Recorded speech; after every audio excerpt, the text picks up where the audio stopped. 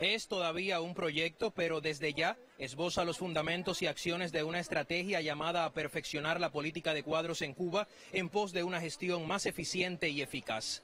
Así lo apreciaron los delegados de la comisión número 3 de la cita partidista, encabezada por Miguel Díaz Canel Bermúdez, presidente de la República de Cuba, tras la presentación del proyecto por Rosario Pentón, miembro del Comité Central y rectora de la Escuela Superior del Partido, Nico López. Hay precisiones en el documento sobre el papel de los jefes, no solo de los jefes, que es también es más importante, sino también de las estructuras de dirección, porque aquí tenemos que recordar que hay una dirección colectiva donde se discuten estos asuntos. El desconocimiento a cada nivel de dirección de las facultades y de las atribuciones que tiene cada cuadro, cada cargo, atenta contra la eficiencia y la agilidad de todos los procesos, incrementa la carga burocrática, enlentece innecesariamente las tomas de decisiones y la solución de los problemas.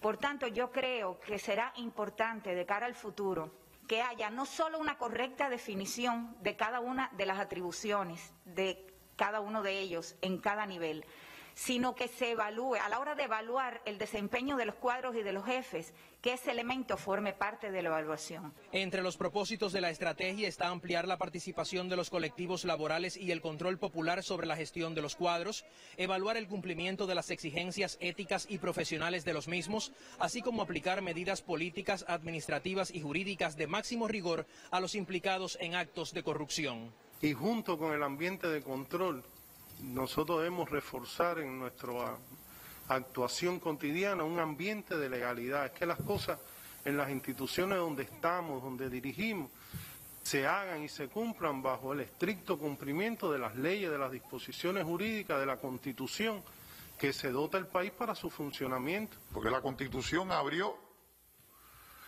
fortaleció mucho entre las garantías y los derechos que, en ella quedaron expuestos los, derechos de las personas naturales y jurídicas a reclamar contra actuaciones indebidas e incorrectas de las administraciones, de las direcciones.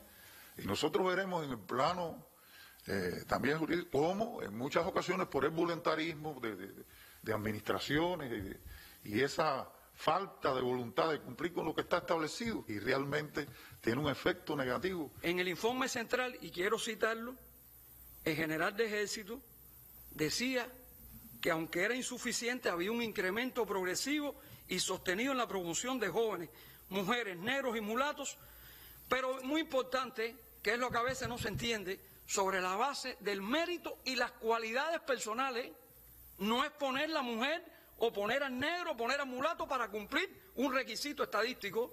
A veces es preferible no cumplir con un por ciento, esperando tener al cuadro preparado, que para cumplir con el por ciento ponemos a alguien que no reúna las cualidades y decimos, no, tenemos los por ciento, sí, pero no sirve. No es poner un negro por poner un negro, no es poner una mujer por poner una mujer. Todos tenemos las mismas oportunidades y lo que tenemos es que demostrarlo que no quiere decir, para que nadie piense, que no me he encontrado obstáculos y que indiscutiblemente, eh, no solo porque la revolución lo quiera, se va a cambiar. Hace falta que la persona tenga amor en el corazón para que cambie. Y entonces, en esta obra de formación de los cuadros, el jefe tiene que tener amor por la formación del que va a dejar cuando no esté. Porque lo mismo puede ser por una promoción, por una emoción, pero indiscutiblemente los cargos todos son transitorios. Otro de los elementos señalados como esenciales en el cumplimiento de las funciones políticas y administrativas es la superación profesional. Por ejemplo, nosotros no podemos esperar que la persona llegue a los 45 años para que piense en un doctorado o en una maestría. Hay que evaluar también cuáles son los mejores momentos porque si estamos diciendo que el promedio de este país de defensa doctoral ya está montando en 44 años, que nosotros tenemos que aspirar a que eso sea por debajo de 30, de 30.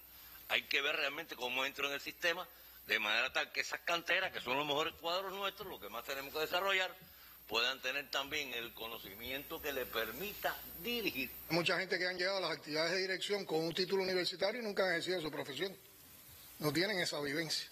Y por otra parte, en mi modesta opinión, ese es uno de los tiempos en los cuales tenemos que aprovechar para que los muchachos vayan haciendo una maestría no una maestría por hacer maestría, una maestría en función de solucionar problemas del lugar donde están trabajando. Empieza a cumplir un grupo de requisitos para el doctorado y la vida esa laboral le vaya dando también un espacio de investigación y también de desarrollo, porque nadie llega a doctor si no ha investigado. Los delegados resaltaron además la positiva influencia del servicio militar en la formación de los jóvenes y de los cuadros. El servicio ha sido una tarea de todos, el servicio eh, militar. Pero aparte del contenido patriótico este, político que tiene, esto tiene, cuando pasa el muchacho por el servicio, tiene una tutela, se le enseña sanidad, tiene reglamento, la cuestión jurídica, orientación topográfica, hay una serie de cuestiones que son no solo para su servicio militar, le sirven para la vida.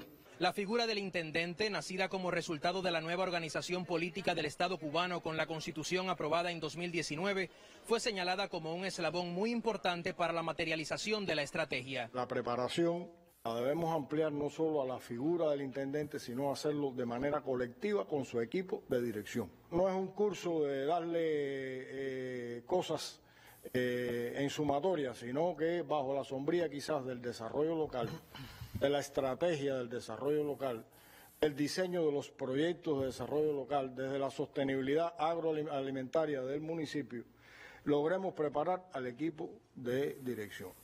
Sobre este tema, el presidente cubano señaló que el partido debe interpretar cómo va a insertarse la futura estrategia en los procesos de desarrollo local en cada municipio.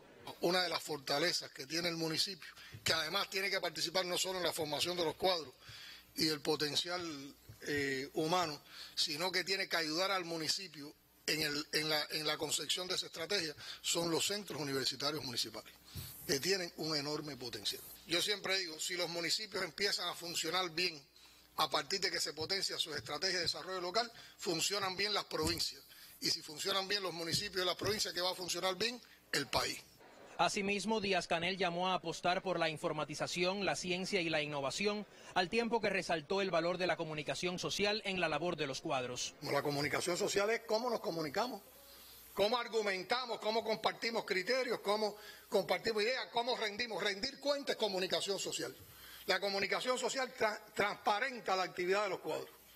Si nosotros, los cuadros comunicándose, rinden cuenta de su labor, eso está transparentando la labor de los, de los cuadros. Y por lo tanto, la comunicación social queda también un elemento importantísimo para la política de cuadros, da participación. En la comisión, los delegados ratificaron las ideas planteadas por el general de ejército Raúl Castro en el informe central de este cónclave partidista y aprobaron el proyecto de resolución titulado Valoración acerca de la política de cuadros del partido, la UJC, las organizaciones de masas, el Estado y el Gobierno, que se presentará durante la sesión dominical de este Congreso. Como colofón de un debate crítico y transformador, el presidente cubano Miguel Díaz Canel Bermúdez sintetizó las principales cualidades y misiones de un cuadro revolucionario en las condiciones actuales de nuestro país. Primero, profunda preparación ideológica, revolucionaria, ética y profesional. Eso es lo primero que tiene que tener un cuadro de la revolución. Por eso yo siempre digo que para mí todos los cuadros en las condiciones de la revolución son cuadros políticos. Y es una de las cosas que le estamos eh, que estamos insistiendo en las estructuras de gobierno. Los cuadros de gobierno tienen que sentirse cuadros políticos, son cuadros de la revolución. No pueden nada más que tener un enfoque económico de los problemas. Tienen que, ante todo, tener un enfoque ideológico, un enfoque político y un enfoque social de los problemas. Y yo diría más un enfoque medioambiental también, porque aquí estamos hablando de desarrollo sostenible. Y está en la visión de la nación. Entonces nosotros también tenemos que ser coherentes todo lo que nos estamos proponiendo en cuadro con todo lo que hemos desarrollado en la conceptualización del modelo económico y social. Y a veces esas cosas están claras, pero no las terminamos de integrar. Los cuadros tienen que tener una capacidad para dirigir, no esperando indicaciones. Los cuadros tienen que pensar, tienen que ser capaces de analizar contextos, tienen que ser capaces para cuando están ante, ante problemas complejos, plantear alternativas. Si en la estructura en que están, lo que ellos están pensando, lo que están proponiendo, no lleva su nivel de aprobación, tienen que tener la capacidad para que con ese pensamiento a las instituciones eh, superiores a ellos le propongan cosas. Pero nosotros lo que sí tenemos que desechar o confundir que el cuadro es la persona que está esperando que uno desde otro lugar le diga lo que tiene que hacer. Ese no es ni líder ni es cuadro. Es un cumple tarea. Pero ese no está aportando, ese no está dirigiendo, ese está esperando que le digan algo para él hacerlo. Que es muy distinto de cuando una persona se ve ante un problema y por el compromiso que tiene con la revolución trata de buscar cómo romper el problema, cómo actuar, cómo convocar, cómo planificar, cómo dirigir, cómo accionar. Esa capacidad hay que desarrollarla, si no, también haramos en el mar. Hay que tener inquietud revolucionaria como cualidad. Aquello le llamo inquietud revolucionaria. A que me preocupen los problemas de la revolución, los problemas del país. Que me preocupe que la gente tenga problemas de desabastecimiento, que me preocupen los problemas que tiene la gente, que a veces no tengo la solución, pero por lo menos puedo argumentar y puedo dirigir el trabajo político a explicar por qué estamos en esa situación. El cuadro que tiene sensibilidad con los problemas de la gente constantemente va a ir a la base, porque va a ir buscando los problemas y las respuestas en la base. Los cuadros tienen que tener modestia y tienen que ser humildes. Otra manera de decir esto es de que los cuadros tienen que tener la capacidad para sobreponer el nosotros al yo. Una de las características fundamentales que yo aprecio en un cuadro. Disposición para escuchar, para debatir, debatir de verdad. Porque hay gente que hablan de debate, pero quieren que le oigan todo lo que uno dice y cuando el otro va a hablar, ahí mismo cortaron la, la comunicación. Entonces, para eso hay que tener capacidad, capacidad de escuchar, capacidad y disposición para solicitar consejos sin complejo. Si yo no sé de una cosa, yo le pregunto sin ningún tipo de, de, complejo al que más sabe de eso, porque lo necesito para poder solucionar el problema, para cumplir bien mi función como cuadro. El cuadro en las condiciones nuestras tiene que tener tenacidad y firmeza.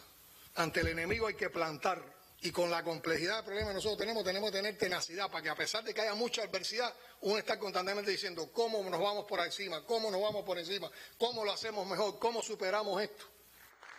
Abdiel Bermúdez Bermúdez, Sistema Informativo de la Televisión Cubana.